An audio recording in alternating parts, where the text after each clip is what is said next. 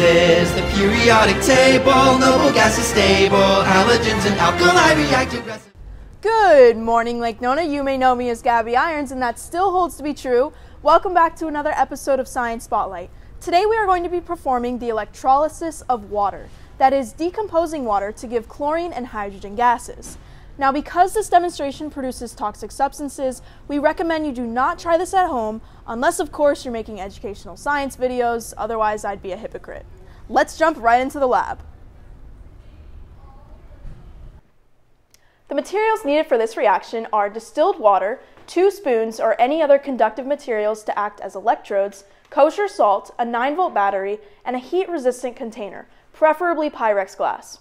Essentially, what we were trying to do here is break up H2O. To break these chemical bonds, we need a source of energy, and in this case, we are converting the chemical energy in a 9 volt battery to electrical energy that will run through the water. Now, because of the lack of ions in water, it is a poor conductor of electricity so we need to add an electrolyte. Here, we're using salt to allow the 9 volt battery to cause the reaction. We are using kosher salt because we know it is only NaCl, whereas table salt may contain other chemicals.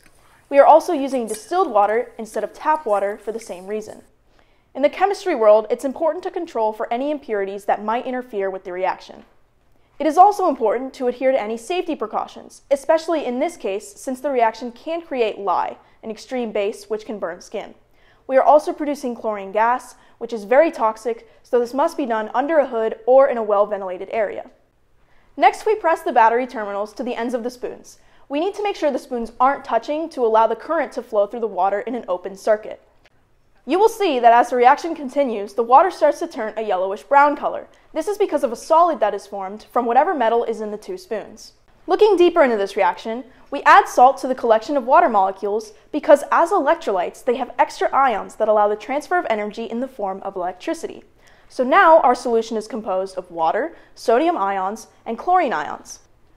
Running electricity through the solution causes the bonds in the water molecules to break, leaving the hydrogen and oxygen molecules free to create new bonds. Sodium bonds with hydrogen and oxygen to create sodium hydroxide or lye, Chlorine and hydrogen combine with like ions to form their elemental gases. These are the gases in our bubbles. The color change seen in this reaction is due to a metal oxide that is being formed from the spoons. A solid that is deposited in a solution is called a precipitate. The chemical composition of this precipitate is unknown since we don't know what the spoons are made of. Thank you guys for tuning in to today's episode of Science Spotlight. We hope you found this video both entertaining and a little shocking.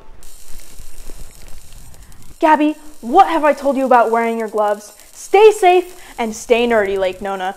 I hate you so much. That was fire.